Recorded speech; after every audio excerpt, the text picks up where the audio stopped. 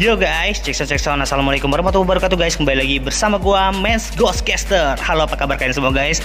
Oke sekarang di depan kita sudah ada Ababil MK2 ya Yaitu ini udah mobil yang biasa gua mainin di 5 jalur ya guys ya. Si Ababil MK2 tuh. Dan sekarang nih paruhnya dia sudah mulai patah guys tuh. Ya tuh. Dan saya tambal pakai Tamiya tape ya. Waduh ini memang udah rombeng-rombeng ya Ya seperti yang kalian ketahui ini adalah bodi ini adalah buatan Mini 4WD Armor ya guys ya. Dan sekarang sudah patah ya bodinya.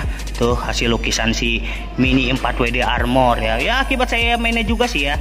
Kelontang-kelontangan mulu ya. Jadi otomatis bodinya patah ya. Kemaklum ini bodi cuma kayak polikarbonat doang tuh ya.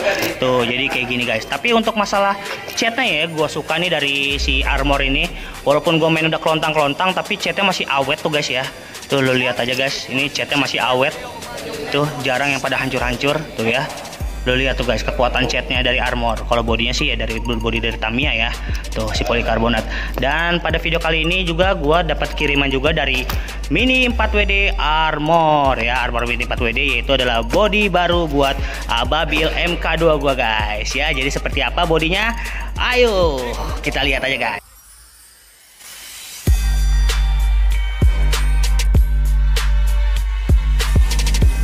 Ya sekarang jadi gue dapat dua paket dari Mini 4WD Armor ya. Jadi kita buka dulu aja paket yang ini guys ya. Tuh kita buka ini kira-kira isinya seperti apa ya untuk body Ababil MK2 yang baru ya. Kita lihat itu guys. Wow packingnya bagus ya kalau kalian mau pesan nama Mini 4WD Armor nih.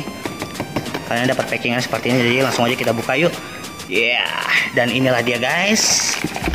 Body baru Ababil MK2 Tuh jadi kita dapat ini juga zipper bag tuh ya oke langsung aja kita lihat yuk bodinya seperti apa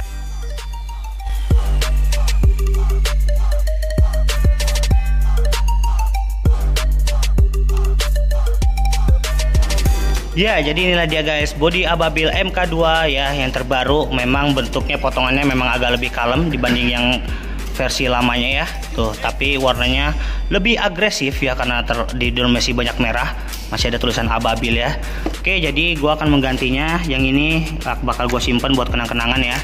Dari armor. Dan sekarang bakal gue ganti sama ababil. Yang ini ya tahun 2020 ya. Jadi sama aja kayak ababil MK1 yang bodinya udah hancur juga bakal diganti. Sekarang gue bakal ganti si ababil MK2 ini. Wow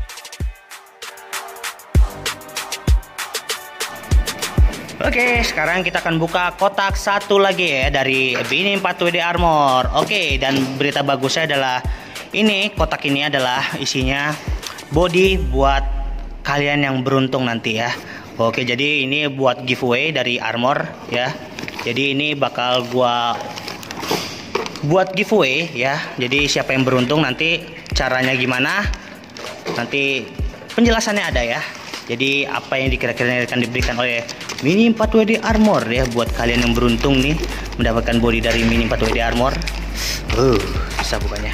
Wow, Dragon Ball guys ya. Jadi ini buat kalian ya yang beruntung nanti. Oke, jadi caranya cukup mudah yaitu adalah ini dia.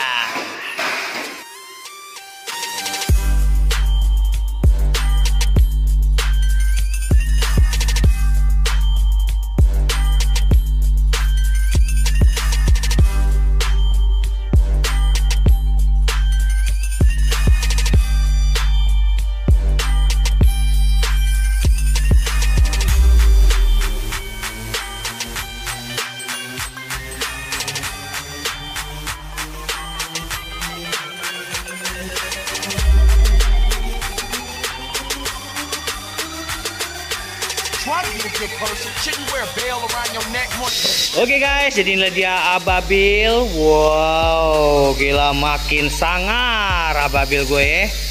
Gila jadi banyak merahnya tuh. Dan siap beraksi lagi. Kamu udah ganteng lagi ya.